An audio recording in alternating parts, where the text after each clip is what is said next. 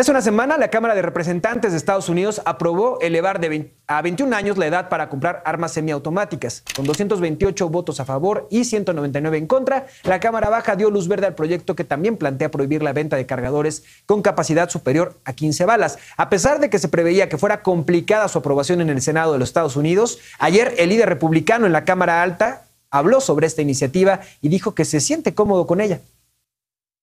Indicated as you have reported.